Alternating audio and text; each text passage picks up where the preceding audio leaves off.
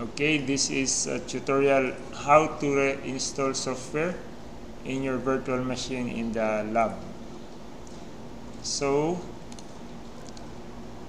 uh, we have a we have a Bitnami Linux Apache PHP Postgres Bitnami Debian image here which has started and then you have to use configure your network as NAT NAT network address translation. For development in my experiments I use host only adapter so that my host machine can ping the guest machine. Host only adapter. But if you need to connect your guest virtual machine to the internet it cannot you cannot use host only adapter. You use NAT. Network address translation your virt your your virtual machine will pretend to be your host machine when connecting to the internet. So if I press NAT and then I try to reboot my virtual machine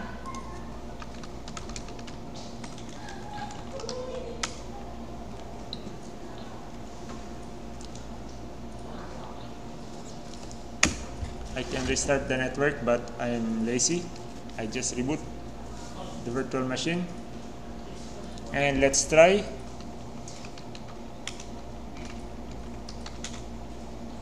And IP address show. So uy. Hindi ata nagbago ah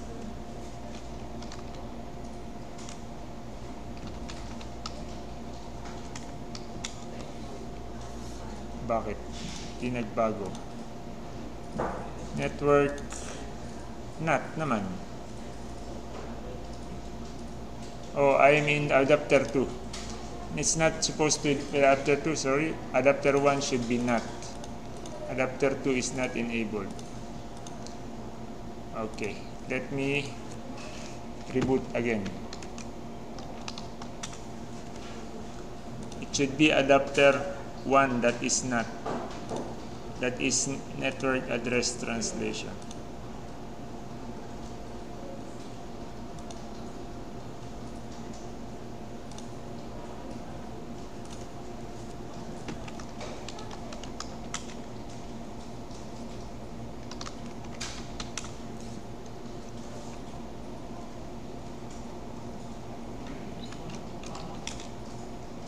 Yan. So now if I ping the one, if you see the IP address is 10.0.2.15. So it's different from a while ago the IP address was uh, 192.168.56.101.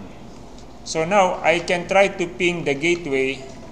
This lab's IP addresses are in 192.168.15. So uh, the gateway is 15. Uh, 10 I think or 15 that check lang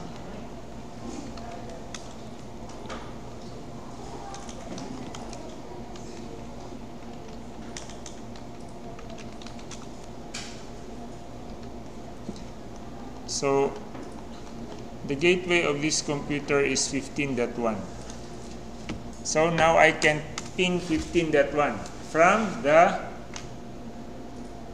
guest OS So, pwede na ako mag-internet. Kaya lang, even my, my host computer cannot ping Google. Because we cannot ping the outside world from our lab.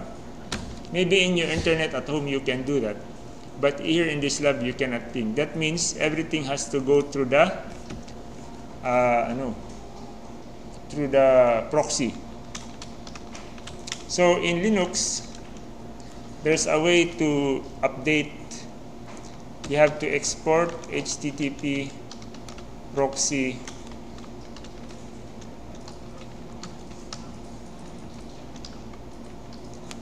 Yan.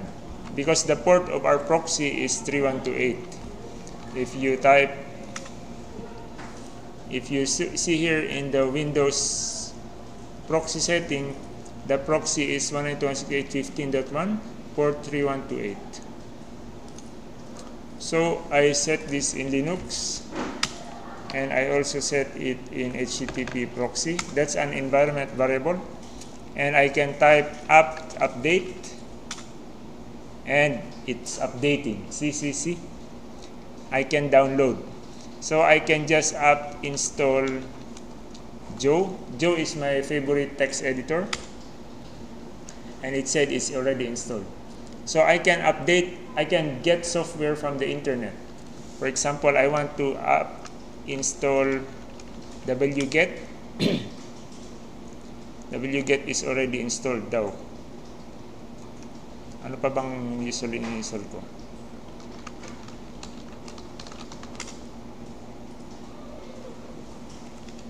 Okay. So this is how you get internet from your uh, from your virtual machine. But you cannot ping you cannot ping the ano you cannot ping this one at the same time. I don't know why. I don't know how to configure it, but as of now, so that we don't have time to spend time. So, if you if you need to install something in your virtual machine from the internet, this is how you do it. After you're done, you can just switch it back to host only adapter, this one, network. No, no, no. Adapter 1, host only adapter. Okay. Let's see if nagbago. Now, you have to reboot. So I changed bit network 1 to host only adapter. And let's see if we can access.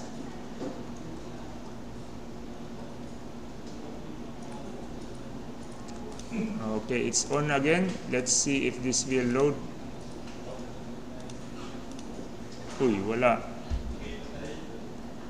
Bakit walang connection? Host only adapter.